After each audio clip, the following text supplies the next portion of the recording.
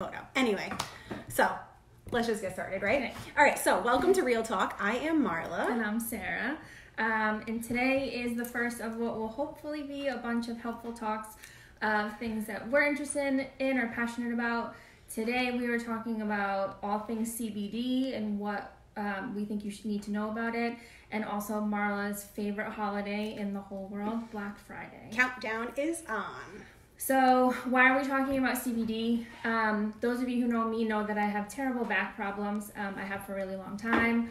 I have done everything shots, epidurals, physical therapy, all you can think of. I've been taking pain medication every day for as long as I can remember, prescription and over the counter. That's not good for your liver. Exactly. So, um, a few years ago, started following Marlon, doing things a little more healthy and on the cleaner, less toxic side. Um, so, I was looking for, um, you know, things with a lot less chemicals and things like that. So, um, started looking into pain reliever that was a little more natural also.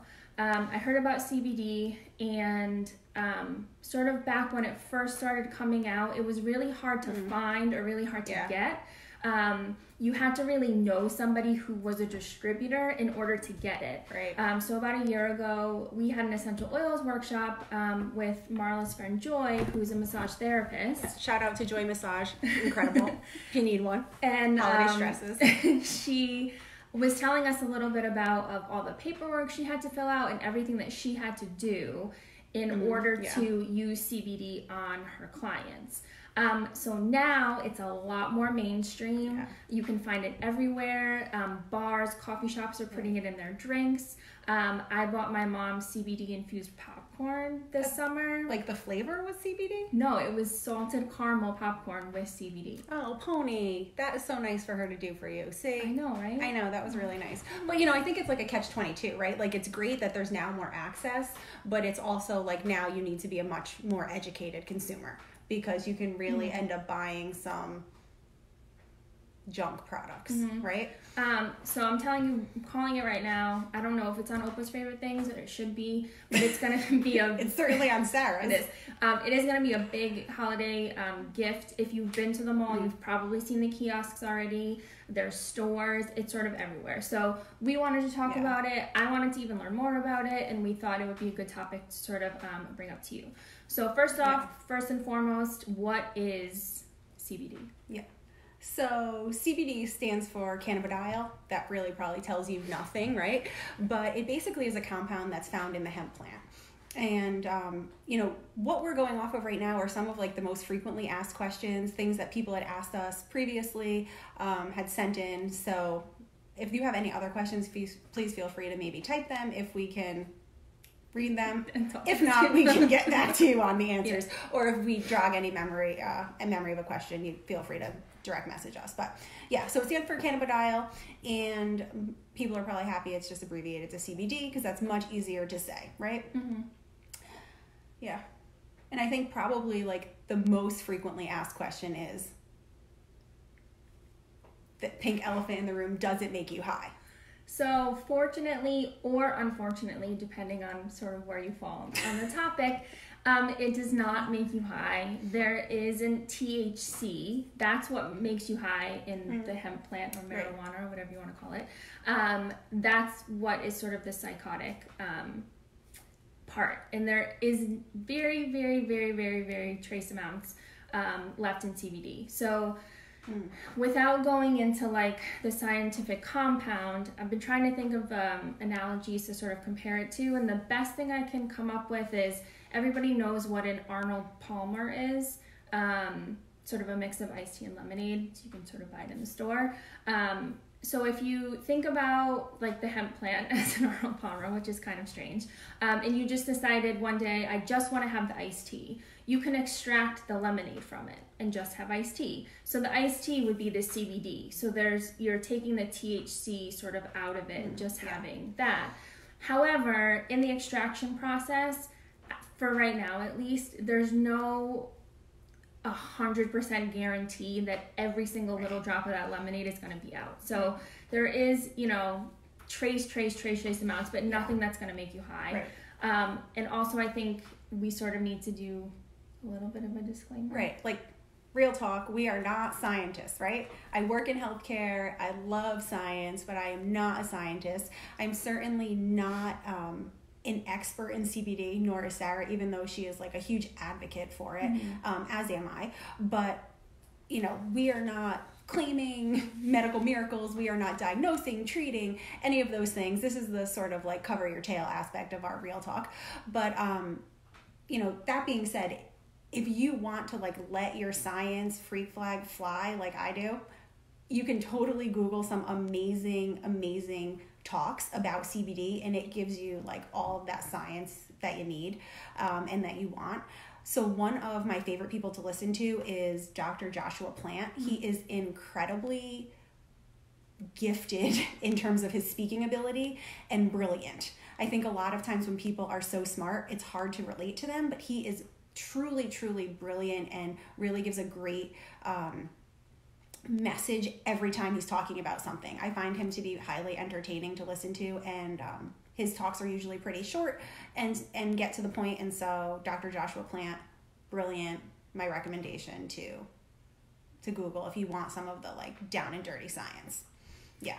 Um, so for me, the first question I usually get is, "Does it make you high?" And the second question I usually get is, "Will it show up in a drug test?" My question is, who other than me are you hanging out with? Because clearly I'm asking you neither of those questions. Um, I'm from New Haven. Yeah, I don't even I don't even understand. But okay, so I guess we will address that. Oh my gosh! If you're just joining us, this is Real Talk with Marla and Sarah, mm-hmm. and as I said in our introduction, it basically is real talk with Sarah, cue Marla sweating because like she basically just says things that make me feel like I'm getting nervous and I want to sweat because you never know what's going to come out of her mouth. I'm trying really hard. Anyway, the question was, will you test positive on a drug test using CBD? Mm-hmm. So the answer is you probably should not, right? Um, because of those very, very trace amounts of THC. And it should be less than 0.3% of THC. So this is where being an educated consumer like really comes into play, right? Like we kind of were joking about the question, but this is like the real seriousness of knowing what you're putting into your body. Um, so that's 0.3% of THC that your CBD should com- uh, should contain or less. Um, and you're really wanting to make sure that it's being tested for quality, purity, consistency. So, like each batch is being done the same exact way so that you know what's being delivered to the body. A, that allows you to not have any of those um, psychotropic effects because you know you're having that small trace amount of THC. And also, it allows you to really verify the dose, if you will, that you're giving to yourself every day. So, you know, um, any company can basically just say, this is how much is in our one dropper full of CBD oil. But has that been tested? Has mm-hmm. that been verified? So, this is where you really need to do your research and make sure that you're um, being educated. And I would say if you're really, really super concerned, maybe just stay away from CBD for now. For, you know, un- until your test is complete, even though you should be fine, but yeah, I guess. Yeah. So you should be all right. Yeah. So if I went to the mall t- right now and I went up to a stand in this CBD, they were trying to sell me CBD. Yeah. Like what what what am I looking for? Like what am I looking for on the bottle? Mm. How should what should how should I know what's good and what's not? Right. So I talked about the consistency, the purity, and the um, quality, right? And so you want to make sure that that's not just by the company that's putting it out because they can literally put whatever they want. It's not regulated by Food and Drugs, so um, they can put whatever they want on their label. You want it to be third party tested. So, so they have paid someone else to say, please test our product and does it do and it does it do what we say it does and does it consist of what we say it consists of that is really what you're looking for pretty much with anything that you're putting into your body you want it to be third party tested you're also looking for is it being organically and sustainably harvested? Like why would you want to put something in your body that where the plant itself is being treated with herbicides and pesticides? Mm. All that's going to do is just like increase your toxicity and you're basically just taking our toxic environment and expediting its way into your body. So, making sure it's organically farmed and sustainably farmed. And actually, Colorado is one of the places that's known to have the um, most sustainably small sustainably grown hemp farms and they usually tend to do them in small batches. So that's a place that you might want to look for when you're looking for actual like physical destination locations. Um, and the most important thing if you take nothing else away from this whole thing is is it food grade quality Oh yeah. so even though right now the FDA does not endorse ingesting CBD, mm, it's questionable for me. I totally endorse it. But anyway, um, Again, we're not doctors. right, not doctors, but if you're taking Well, something that's food grade, true, I am. But if you're taking something that's food grade, and I say the same thing about essential oils.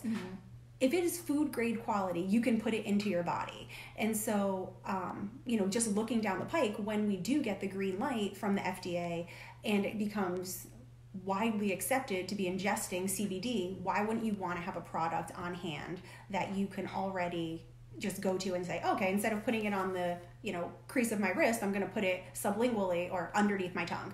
And um, you know, I actually have a lot of patients, especially um, you know, I work for a home health and hospice organization, and I have a lot of patients who use CBD. Um, some of them who are in their 80s and 90s who tell me like this, like because they think they're using drugs, but you know they um, use CBD, and a lot of them do take it sub sublingually, and um, they have amazing, amazing, amazing results. So I would say if you take nothing else away, look for food grade quality. Yeah. For sure. So what can CBD be used for?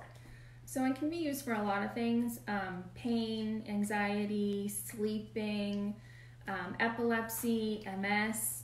Um, there's a lot of things that it can be used for. The list is sort of endless. Yeah. Um, CBD is something that goes to where it's needed.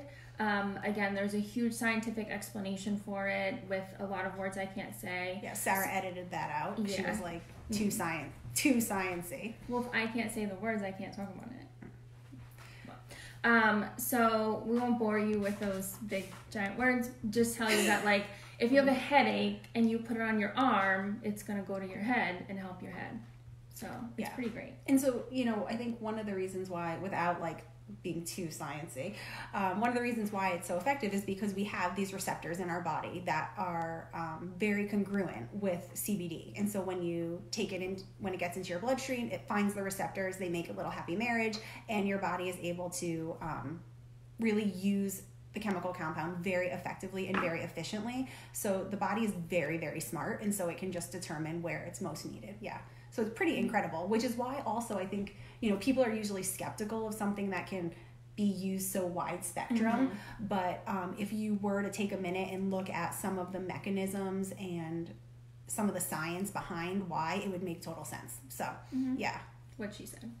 Um, okay, so that's CBD. So on to the next topic, which is Marla's Yay! favorite thing in the world. Oh, it makes me so happy. It's coming. It's Black Friday. The final countdown, isn't it?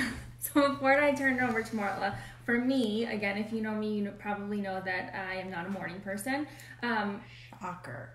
She once actually ended our friendship for 37 minutes because I asked her to not hit snooze for the seventh time in the morning. when you're waking up at 5 a.m., you have to hit snooze. Do you know how annoying that is? Beep, beep, beep. And then she's like, and can you get in the shower first? Because I'm still going to hit this one more time. Beep. I mean, it's terrible, but continue. We know you don't get up early. Anyway, so when Black Friday was just on Friday, Sarah was not one of those people who was going to go stand out in the Yeah, cold at 3 a.m. to get a. TV. Th- that's not me. So um, I've Hmm. been recently doing a lot of my shopping online because my patience is here.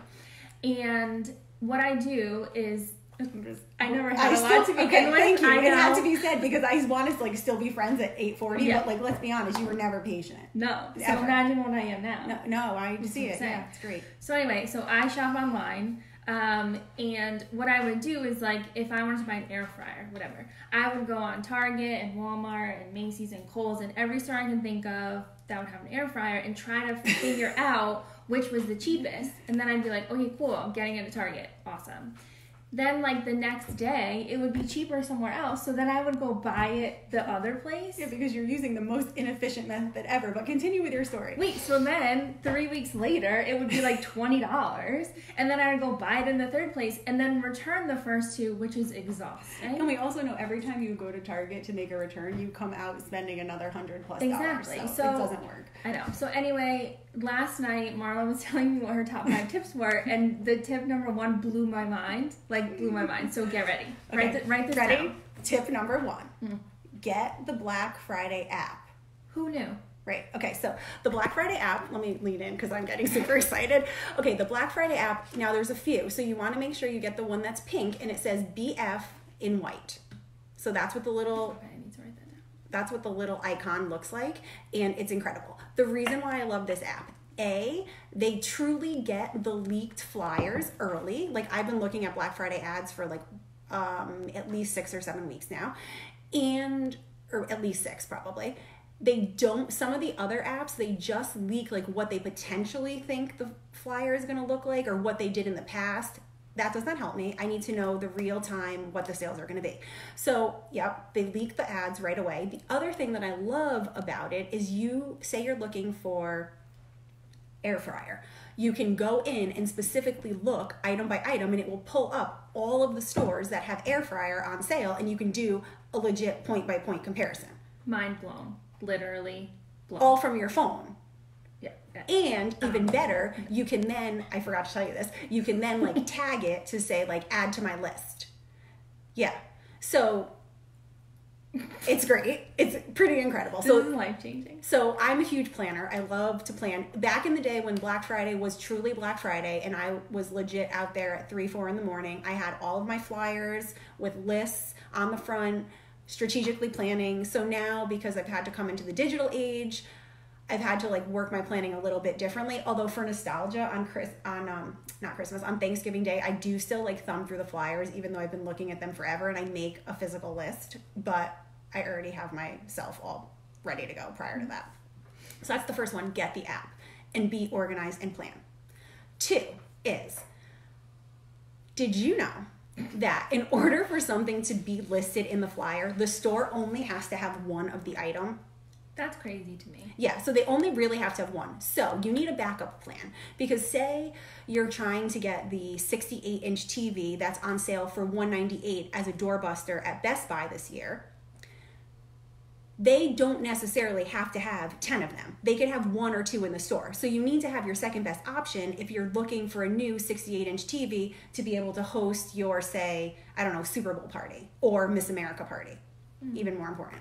So you need to have a backup plan. So that's where the other, the app with the comparison also is really helpful because you have plan A and plan B.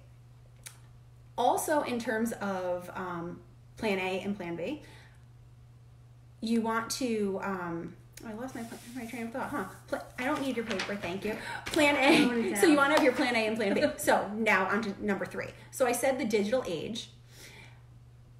It is the best thing to be actively live shopping and also online shopping. So if you get to the aisle and it's sold out, but they happen to still have one in Texas, you can just still get it. This is what made Black Friday like come full circle for me because it's bombarding myself with shopping. It's incredible.